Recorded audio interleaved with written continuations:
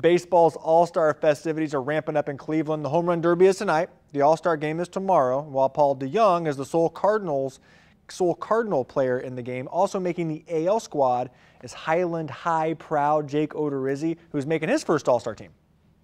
Just special being here with all these you know, great players and being a part of it. It's still pretty surreal, and um, for me, just trying to do my best to soak it all in for the, the two days of hustle and bustle and you know, just create as many as many memories as possible.